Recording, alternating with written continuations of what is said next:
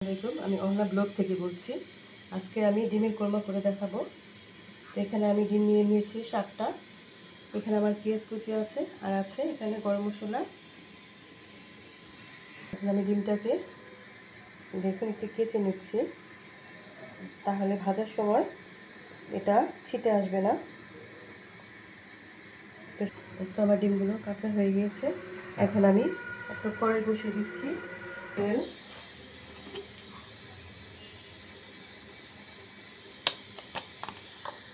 এখন একটু পেঁয়াজ বেরেস্ত করে নিচ্ছি।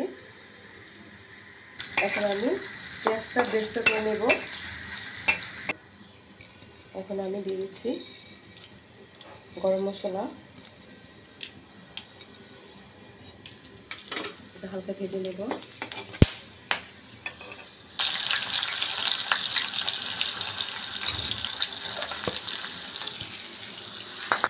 দিয়ে দেবো দু চামচ আদা রসুন বাটা।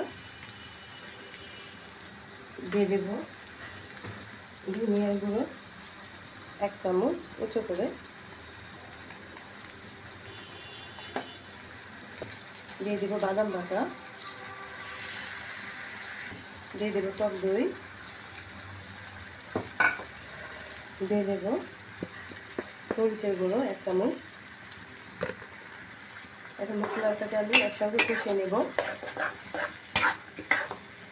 ভালোভাবে কষাতে হবে। কষানো প্রায় হয়ে আসছে। তো এর মাঝে আমি এখানে, এর মাঝে এখানে আমি, এর মাঝে এখানে আমি ডিমটা ই করে নিলাম। ভেজে নিয়েছি। এখানে আমি দুধ দিয়ে দিচ্ছি। আমি পানি ব্যবহার করব না এখানে। দুধ দিয়ে আজকে এটা রান্না করব। দেখুন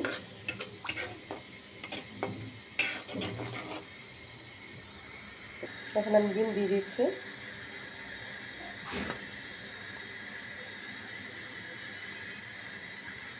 আমি এখানে আরেকটু দুধ দিয়ে দিচ্ছি, তো আমার এটাতে হয়ে যাবে কাঁচামরিচ। এখন আমি চিনি দিয়ে দিচ্ছি স্বাদ মতো। আর দিয়ে দিচ্ছি, আর দিয়ে দিচ্ছি এখানে এটা একটা ভালো একটা ঘ্রাণ চলে আসবে। দিয়ে দেবো পেঁয়াজের বেস্তা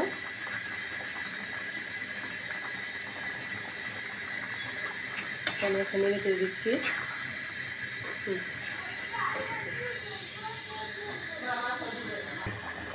এখন আমার ডিমের টোমাটো হয়ে গিয়েছে। আমি এখন নামিয়ে ফেলব। এই তো আমার হয়ে গিয়েছে ডিমের কোরমা। এখন আমি পরিবেশন করে দেখাচ্ছি। দেখুন।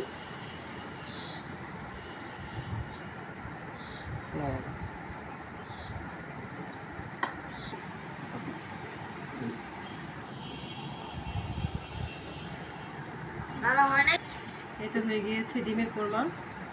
দেখুন দেখতে কতটা সুন্দর হয়েছে। খেতেও ভালো হবে। আর আমার রান্নাটা যদি আপনাদের ভালো লেগে থাকে অবশ্যই আমার চ্যানেলটাকে সাবস্ক্রাইব করবেন। বেশি বেশি করে লাইক করবেন। তো আসসালামু আলাইকুম।